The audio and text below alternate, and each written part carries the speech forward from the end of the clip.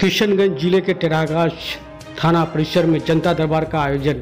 हर सप्ताह की भांति इस सप्ताह को भी किशनगंज ज़िले के टेरागाछ थाना परिसर में जनता दरबार का आयोजन किया गया, जिसमें अंचल अधिकारी शिवजी कुमार भट्ट की अनुपस्थिति में थाना अध्यक्ष चित्ररंजन प्रसाद यादव की अध्यक्षता में जनता दरबार का कार्य शुरू किया गया, जिसमें मुख्य रूप से हल्का कर्मचारी अजय कुमार सिंह उपस्थित थे।